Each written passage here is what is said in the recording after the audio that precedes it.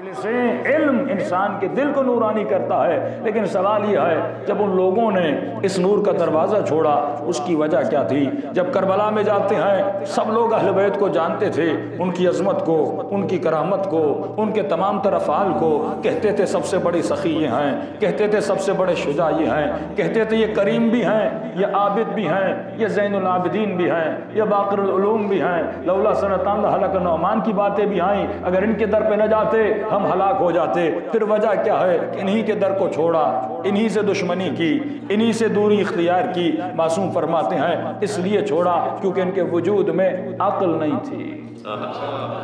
अगर अक्ल होती, ये कभी तरे अहलबैत को न छेड़ते। तो फरमाया, क़यामत के दिन कुछ ऐसे लोगों को लाया जाएगा और खुदा कहेगा, इनको जहन्नुम के हवाले कर दो।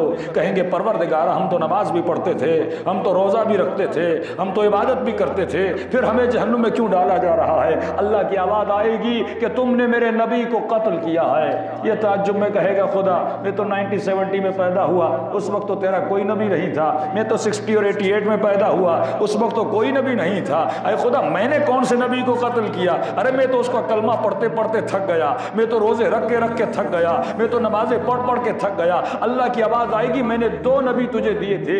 एक नबी एक्सटर्नल था एक नबी इंटरनल था। एक्सटर्नल नबी का नाम था मोहम्मद इंटरनल नबी का नाम था अकल। तुमने अपनी अकल को कत्ल किया। फरमाया वो कातिल अकल है जो हक को छोड़े। और बातिल के पीछे जाए वो जमाना गया कि आप हदीसें पढ़ें रिवायतें पढ़ें और किसी को शिया बनाएँ। बेहतरीन तरीका किसी को अहलबैत के दर पे लाने का है अक्ल। और ताज्जुब से कहना पड़ता है जो दर अक्ल के मानने वाले हैं अगर उन्हीं में बेअकली आ जाए। मसला क्या है? मसला यह है कि मासूम फरमाते हैं अपने अकीदों की बुनियाद अक्ल बनाओ।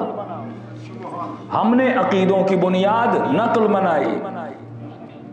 छोटा सा बच्चा है चार साल का। मजलिस में लाए मोमिन ने नारा मारा, नारा हैदरी बच्चा सीख गया, कल मुझे भी मारना है। इसने नकल से नारा मारा, अकल से नहीं मारा। ये जवान हो गया, नारा मारता रहा। ये नकल वाला नारा है, अकल वाला नहीं है। अकल वाला वो नारा है जो मैदान उहद में नबी ने मारा था। जो यकीन करके मदद मांगे, वो अकल का नारा है। क्या है कि आज का ही मुसलमान है ना, कलमा पढ़ता है, लेकिन बदफेली भी करता है। एक्टर है, एक्ट्रेसेस है, डांसर है, मुख्तलिफ़ कामों में है, रमज़ान में दुपट्टा। रमज़ान ख़त्म हुआ, दुपट्टा गया। इसका मतलब ला इला इल्लल्लाह तो कह रही है। ला इला इल्लल्लाह तो कह रहा है। लेकिन ये ला इलाहा इल्लल्लाह नकल वाला है, अक्ल वाला नहीं है। क्योंकि अकल कभी नहीं कहती कि खुदा सिर्फ़ रमज़ान में होता है। खुदा तो पूरा साल है। अकल कभी नहीं कहती कि हुसैन सिर्फ़ मजलिस में होते हैं। अक्ल कहती वो हर जगह है। तो वसलमू तस्लीमा का मतलब मुसलमान ने समझा नहीं। इसने सिर्फ़ नकलन ला इलाहा इल्लल्लाह कहा। इसने अली को मजलिस से लिया बचपन से सुनता हुआ। ये झगड़े होते क्यों जब मुस्तैद फतवा देता है फला काम न करो मोमिन लड़ पड़ता है बचपन से कर रहा हूँ। अचानक कह रहे छोड़ दो बचपन से कर रहा हूँ। ये मेरे वजूद का हिस्सा बन चुका है। भाई, दीन अक्ल पे चलता है। दीन नकल पे नहीं चलता। अगर खुदा नकल की बात को मानता तो उन बुत परस्तों का क्या कसूर था जो बचपन से बुत परस्ती में थे? तभी मासूम फरमाते, जब कयामत के दिन खुदा लाएगा किसी मुसलमान को और कहेगा, बता तुमने, मुझे सजदा किया तो क्यों किया?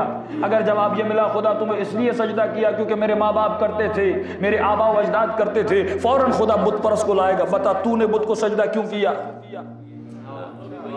वो भी कहेगा, मेरे माँ बाप करते थे, मेरी सोसाइटी करती थी, मेरा मुआशरा करते था। खुदा इससे कहेगा, तू बता, करूँ तो क्या करूँ? जवाब दोनों का एक है।